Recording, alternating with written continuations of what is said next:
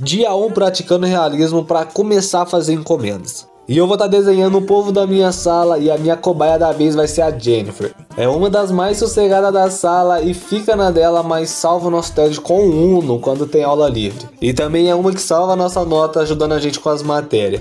E ela é aquele tipo de pessoa que você pede alguma coisa, ela fala não, mas depois ela empresta. Vai entender, né? E a minha ideia é desenhar a maioria do povo da sala até eu ficar confiante que eu posso começar a fazer encomenda. E se você tem vontade de aprender a desenhar realismo, dá uma olhadinha no link na bio também. E se liga só nesse resultado aí, o que, que você acha? Nada a ver, irmão.